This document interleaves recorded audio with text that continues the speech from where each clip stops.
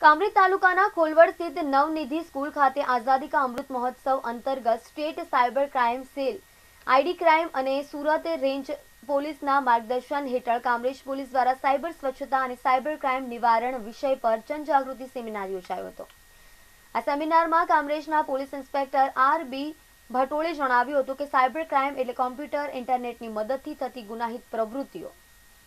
Digital માધ્યમથી નાણાકીય છેતરપિંડી વ્યક્તિગત માહિતીની ચોરી ખોટી માહિતી આપવી, માહિતીનો નાશ કરવો ઓનલાઈન ધમકી આપવી, બદનામી કરવી વગેરે સાયબર ક્રાઇમમાં આવે છે.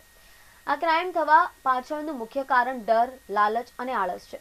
આજના ડિજિટલ યુગમાં કરોડો લોકો ઇન્ટરનેટના માધ્યમથી ઝડપી કોમ્યુનિકેશન, મનોરંજન ઓનલાઈન શિક્ષણ તથા નાણાકીય વ્યવહાર કરી રહ્યા છે. ત્યારે સતર્કતા રાખી અને સલામત તેમજ જાગૃત રહી શકાય તેમ જણાવ્યું હતું.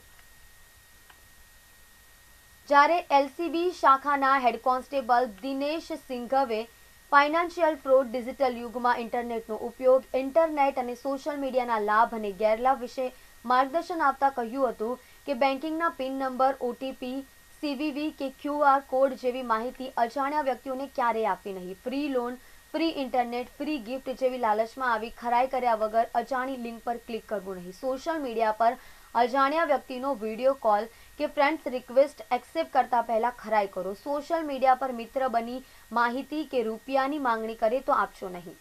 એમ જણાવી સોશિયલ મીડિયા સંબંધિત ફ્રોડ તથા સાયબર ક્રાઇમથી બચવા અંગે રસપ્રદ માહિતી આપી હતી.